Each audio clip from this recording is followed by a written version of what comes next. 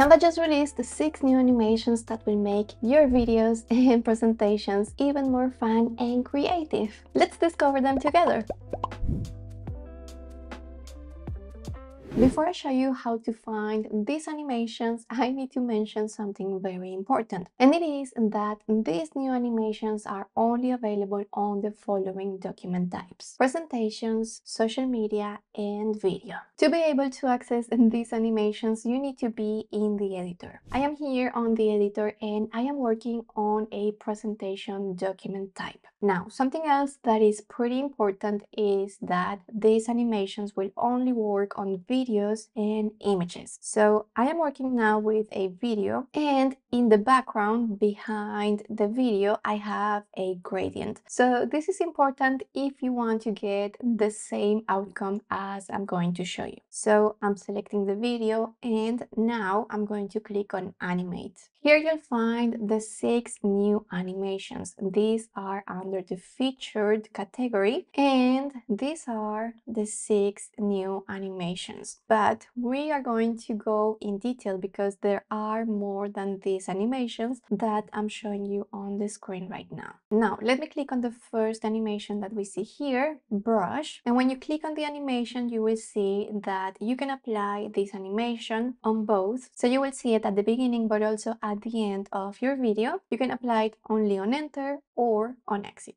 These six new animations are completely free to use, but if you want to change the style, you will need to have a Canva Pro account. You will see below animate style. This one has the little crown that tell us that this is available only for Canva Pro users. Now in here we see the default style, which is curve, but you also have wild. You see that the strokes of the brushes changes. We have dip and then we have swirl. I have a Pro account, so I'm gonna change the style and I'm gonna apply this animation on both. So both enter and exit. Now let me play my video. You will see the animation at the beginning of the video and at the end. Now let me show you how the other animations look. So let's go back to the animate window. And from here, I'm gonna show you first ink.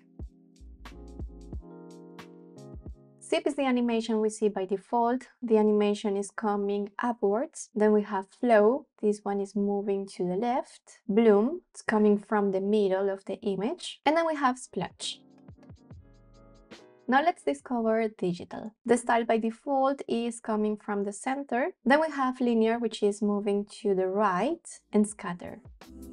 Now let's move to the fourth animation, which is spray painting. On this animation, we only have two different styles, the first one being messy, the default one, and then we have letters. Now let's see sketch. On this one, we have four different styles, the first one being fill, then we have swipe, scratch, and then we have Squiggle, which is one of my favorite new animations. And lastly, let me show you Gradient. On this one, we have three different animations. So circular, blocks, and lines. Out of these six new animations, I feel Gradient is the one that has more of this corporate feeling to it. And I would like to know which of all of these animations is your favorite.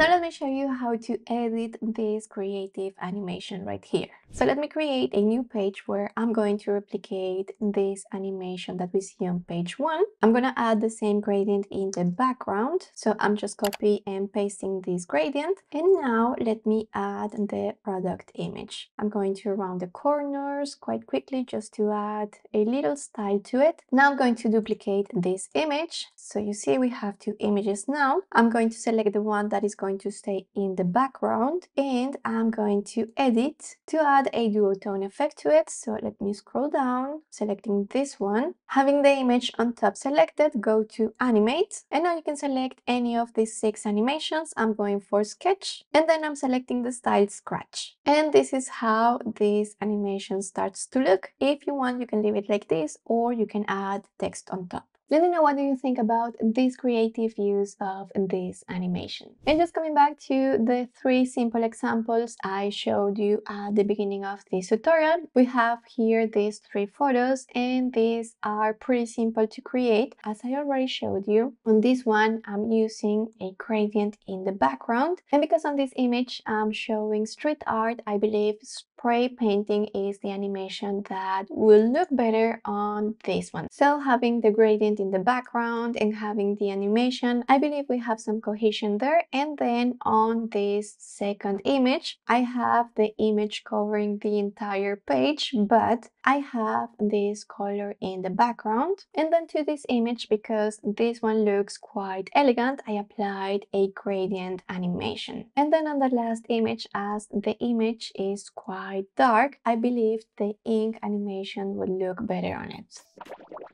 To learn more about Canva, we have a Canva master course. I'm gonna leave the link here on the screen, but also in the description of the video. And I'm also leaving here a tutorial I'm sure you are going to love. I think this is it for this video, and I hope to see you in the next one. Bye!